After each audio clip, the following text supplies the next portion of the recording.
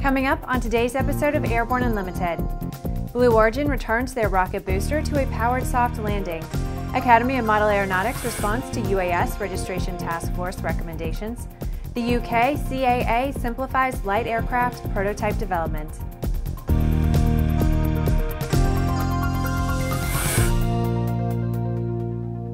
I'm Bree Cross. It's November 25th, 2015, and this is Airborne Unlimited. Blue Origin announced yesterday that its New Shepard space vehicle successfully flew to space, reaching its planned test altitude of 329,839 feet. That's about 62 miles before executing a historic landing back at the launch site in West Texas on Monday. In a news release, Blue Origin said the flight validates its vehicle architecture and design. The unique ring fin shifted the center of pressure aft to help control reentry and descent, while eight large drag brakes slowed terminal speed to 387 miles per hour.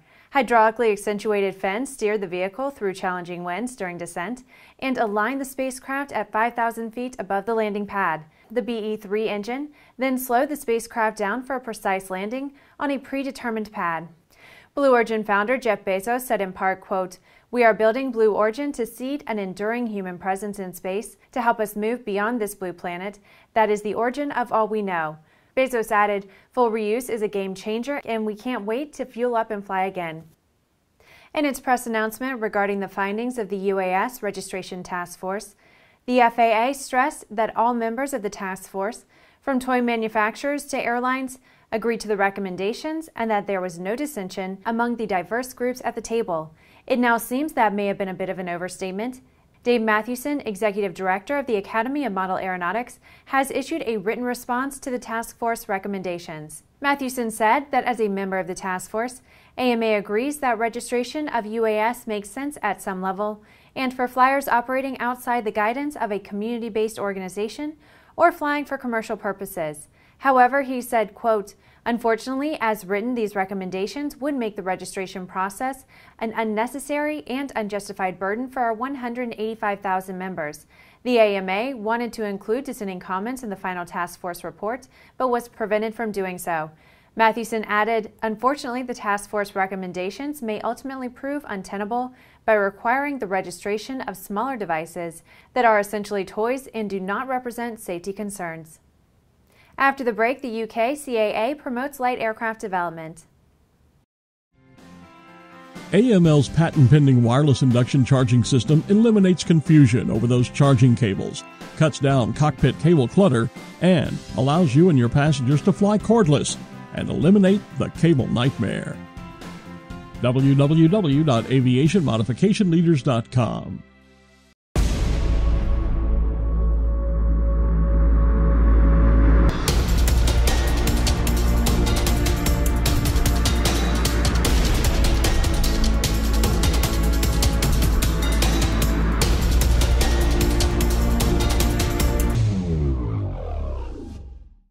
Redbird is quickly becoming the industry standard for flight training. Since Redbird introduced its revolutionary FMX in 2007, colleges, universities, and flight training operations around the world have integrated Redbird products into their curriculum. It's time to discover what Redbird can do for you. Join the migration.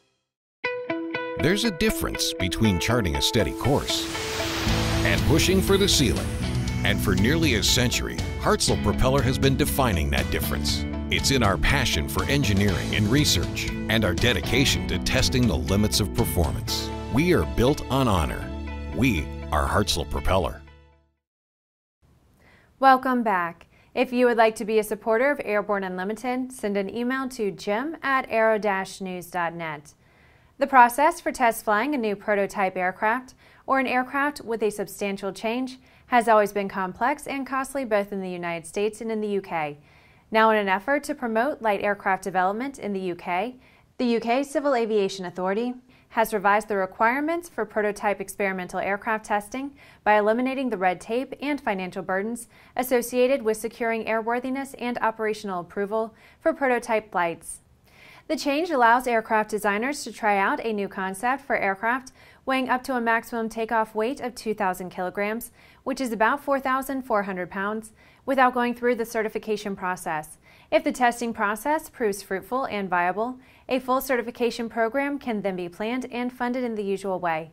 Proof of concept flights will still be required to undertake a risk assessment process to support the activity and, in particular, to ensure that the risks to third parties are adequately addressed. With some 2,000 Aero TV programs webcast to cyberspace, sometimes it can be fun to look back and enjoy some of the places we've seen, the flyers we've met, and the planes we've flown. Here's a look at one of our favorite Aero TV classic episodes. Whole goal is to just come relax, have some fun, no pressure, enjoy yourselves, and it gives everybody a break in the winter that are in a hobby that can't fly outside. So. If winter's got you down, here's a way to fly without preheating your engine. ANN's Jim Campbell visited eFest 2015 and shows us how much fun it can be to fly indoor RC model aircraft. Search Electrifying eFest 2015 on Aero TV's news channel. After these messages, Lynx spacecraft landings are being simulated. The KSN 770 is an affordable, WAAS-enabled integrated MFD with a flexible hybrid user interface from Bendix King. Get your fingers on the 770's perfect blend of touchscreen and hard buttons. Easily control your GPS navigation, NavCom, weather, traffic, and terrain in any condition. For more information, go to bendixking.com. Sandia introduces the new SAI 340 Quattro TSO'd airspeed, attitude, altitude, and slip. With integral backup battery, safety never looked so good. See it now at www.sandia.aero. Now certified, Aspen Avionics single band ADS-B ATX100 and ATX100G transceivers are the next gen ADS-B solution that provides the features pilots need while keeping flyaway costs low. Check it out now at aspenavionics.com. Concorde's recombinant gas RG series sealed battery technology produces a high performance battery with the advantages of being pre tested and fully charged at the factory. Find out more about Concorde's entire line of batteries at www.concordebattery.com. Concorde, the heart of your aircraft. Welcome back. With so much news coming out of the aviation industry, we're summarizing some other interesting stories in a brief segment we call Around the Patch.